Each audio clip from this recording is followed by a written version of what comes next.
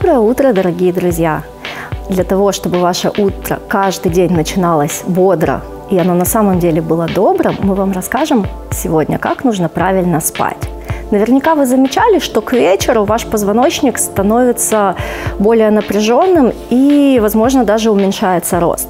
Связано это не только с перенапряжением мышечной системы, но и с э, уменьшением влаги в межпозвоночных дисках. Именно межпозвонковые диски являются амортизационной системой позвоночника, и нам важно, чтобы они восстанавливались. Когда мы принимаем горизонтальную позицию, если она выбрана правильно, то уменьшается давление на диски, и они за ночь напитываются влагой, и к утру вы снова становятся высокими. Итак, начнем. Поза сна большинства людей выглядит именно так. Очень многие любят спать на животе, и как минимум два сегмента позвоночника страдают очень значительно. Это поясничный отдел позвоночника, у нас мышцы живота полностью расслаблены, и поясница проваливается вниз. Соответственно, вот этот участок спины за ночь абсолютно не восстанавливается. Он всю ночь испытывает компрессию на межпозвонковые диски.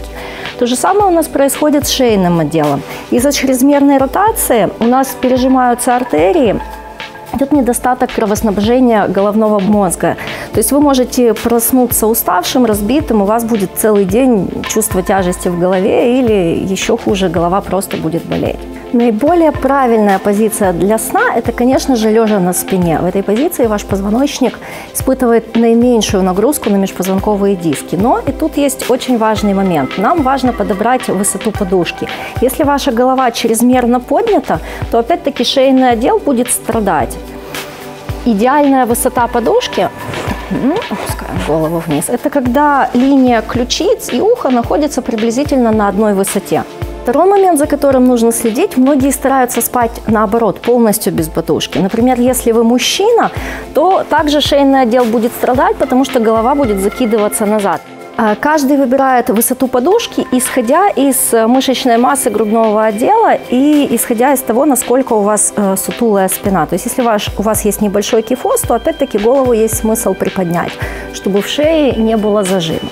Если же сон на спине является для вас достаточно сложным, предлагаем вам подобрать себе позицию сна на боку.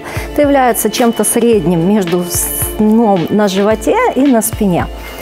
А, в первую очередь обратите внимание на шею, то есть голова не должна падать вниз, иначе у вас будет страдать и опорное плечо, и опять-таки шейный отдел позвоночника.